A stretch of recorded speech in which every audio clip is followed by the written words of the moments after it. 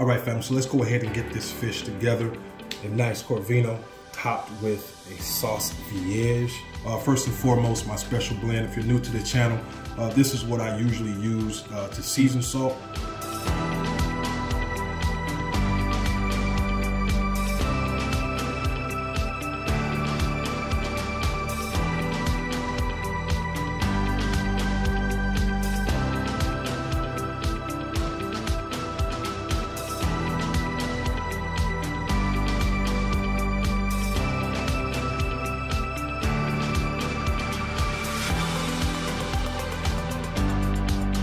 Right, so there we go, family.